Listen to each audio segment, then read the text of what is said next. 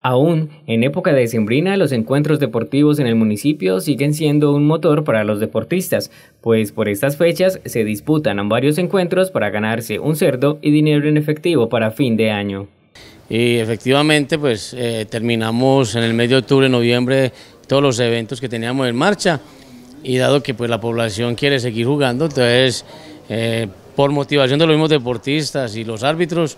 pues nos dimos a la tarea de organizar un torneo navideño de fútbol de salón masculino y femenino e infantil en el barrio Cori, con excelentes premios, eh, gracias a la Funeraria Suroeste, a Celutel, pues que eh, en, algunos torneos se vincularon con un marrano para el, equipo campeón y el segundo y dinero en efectivo pues proveniente de los mismos eh, ingresos que genera el evento. Sumado a esto, en agenda deportiva también se estará realizando el torneo navideño de fútbol 8 en el Estadio Municipal y un torneo de voleibol mixto en el Coliseo Cubierto.